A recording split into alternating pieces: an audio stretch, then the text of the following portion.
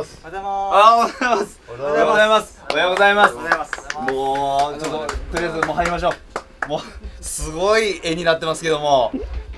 改めましてブレーンカウントです。ブレーンカウントです。お世話になってます。ありがとうございます。ありがとうございます。ありがとうございます。嬉しい。ありがとうございます。ありがとうございます嬉しいっす。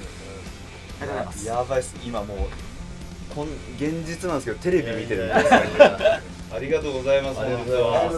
お忙しい中。すみませんなんか曲いやもうもう全力で作らせていただいたんですけど、あすいませんありがとうございます。すいませんじゃあちょっと。いやもういやいやなんかあのー GTO の今回そのリバイバル？っそうですよね。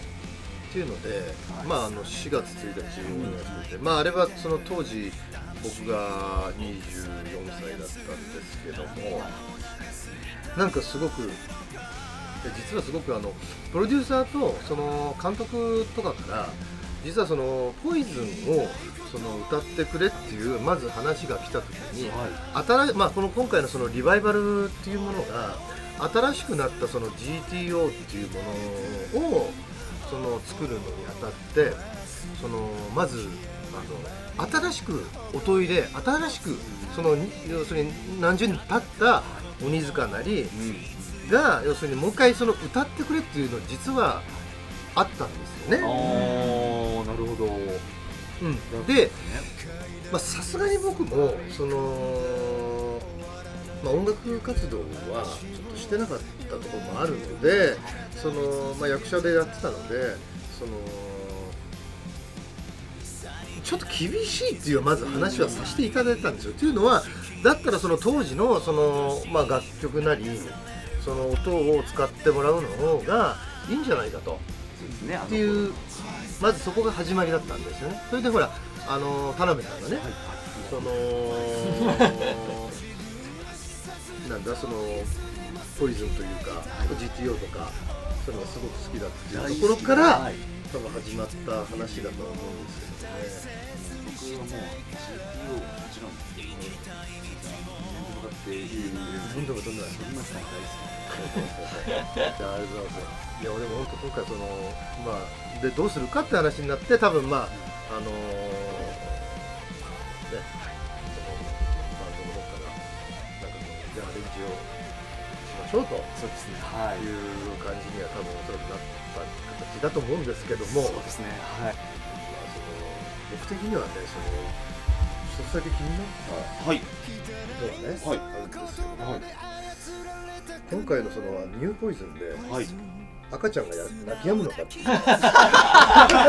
そうですよね。そこだけなのよ、はいはいはい。オリジナル版のポイズンはそうそうですよね中でやっぱりそのね？検証もされてます。検証されてるのにはい。これ復活したら泣き止まねえぞと。いうねそうですね。想定してなかったそれはどうなんだってそこは意識したのかっていう。僕はもちろんあの意識せざるを得ない状況だったんですけど、まあ、やっぱ令和のはい。ニューポイズンは、はい。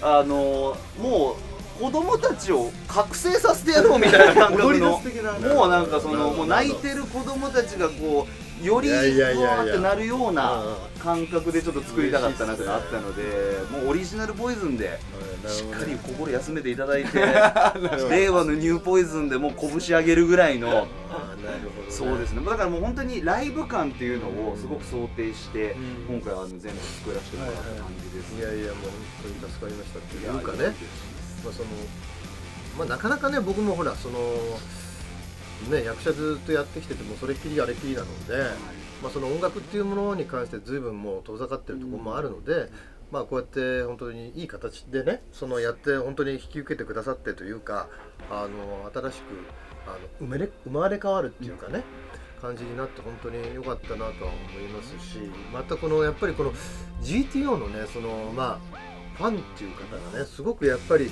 多いので、うん、だからそのいい形で本当に、まあ、今回そなんかねうまくあのハモれたかなっていうのがあります。ね。もう歌入れ自分のパートの歌入れするときに前の日寝れなかったですそうですか。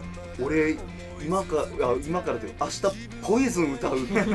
責任が重大だったので。えでもあのえ今おいくつですか？僕は今年36ですね。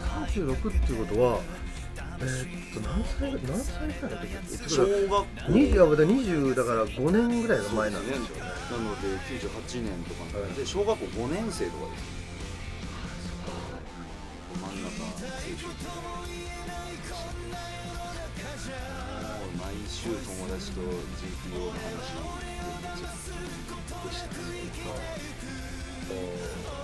ちょうどあのイントロでねそのなんか海海かなんかでバイク今回もねそのその GTO リバイバルで海の中に海っていうかその青空の中でバイクがブーッと走ってる海塚が走ってるんですけどももう本当にその絵がそのまんまあの形にあなんかイメージできるっていう感じだったの僕も。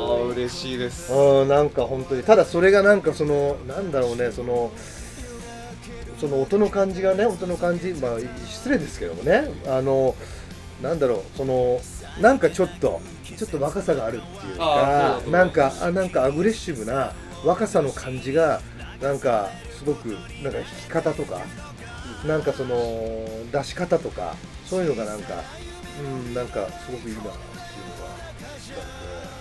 当にそれのイメージでしたね。もうまさに、今の鬼塚先生と、その当時生徒だった僕らみたいな感覚で、今同じスタジオで、じゃあうんせーのでドンって合わせましたみたいなうん。